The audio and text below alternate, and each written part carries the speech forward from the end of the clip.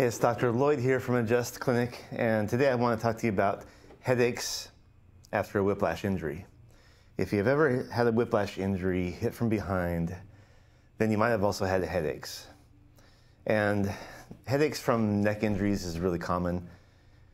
Injuring the muscles, some of the pain sensitive structures in there can cause a radiating headache pain. So it starts back here, but you feel it in the front. There's a couple of mechanisms for that. Um, pain sensitive structures in the neck will radiate the pain. There is some crosstalk between the nerves for the upper neck and what's called the trigeminal nerve in the brainstem, where those signals kind of get mixed up. But in the spirit of a book report, I want to tell you about this book I just picked up from Amazon, The Cervical Spine by James Taylor. I've never seen injuries so elucidated as well as what I see in this book. Now, this guy took some cross sections of actual human spines, stained them for clarity, and took pictures of them to study them. And um, so let me show you what he found. So we know that there are a couple of ways that you can have headaches coming from your neck. Now, first of all, like I said before, the spinal inputs to the upper neck will come into the brainstem and sort of have crosstalk with the part of the brainstem that has ending, nerve endings for the face. V1, V2, V3. This is the trigeminal nerve and that can cause face pain or headache. But also, the greater occipital nerve it innervates this part of the skull right here. The greater occipital nerve comes from the upper neck. Now, when you look at some anatomy apps, you see kind of a loose network of nerves. So we have the skull, the neck, and some of the neck muscles back here. The greater occipital nerve comes out between C2 and C3, the second and third segments of the neck. It passes through muscle layers and goes up to the skull right there. Now, if you just looked at some anatomy app like this, you might not see very much room for a nerve being pinched or compressed.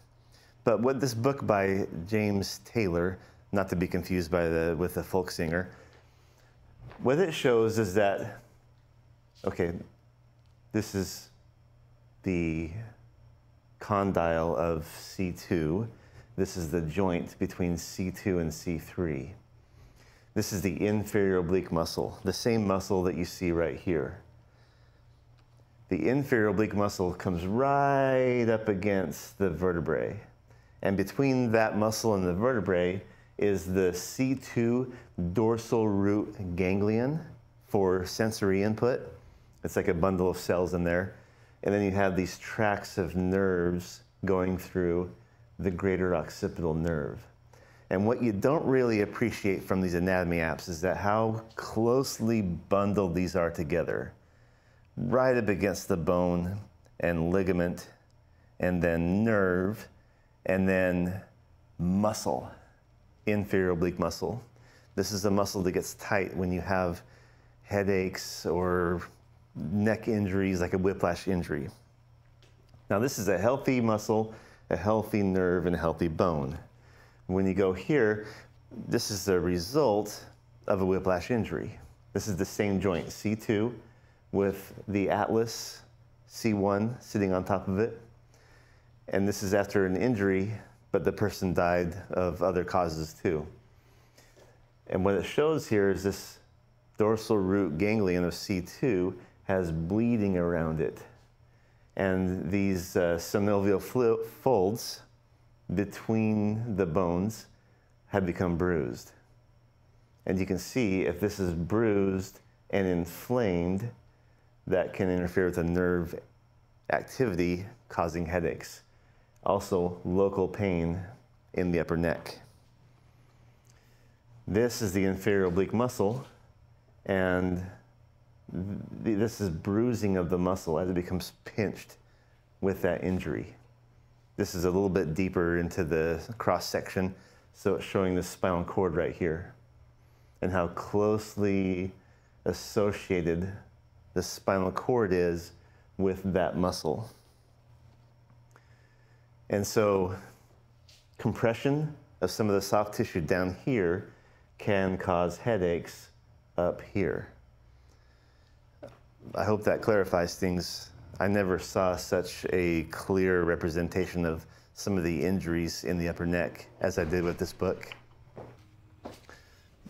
So, what's important about this is that if you've been in a car accident, it's important to accelerate the healing process as best you can. Maintain good movement within reason, avoid re injury in the acute phase, but strengthen the muscles and support the discs, the facet joints, the ligaments in the neck in the subacute and the chronic phase or the later stages of healing. In the later stages of healing, you've got to keep good movement, you got to keep the muscles strong, and you got to remain active. Throughout all stages of healing, you must also pay attention to your nutrition, your outlook on the outcomes of the injury, maintain supportive relationships with your loved ones who can understand what you're going through. But, but keeping the spine moving well is one of the keys to help accelerate the healing process and give you the best outcomes possible.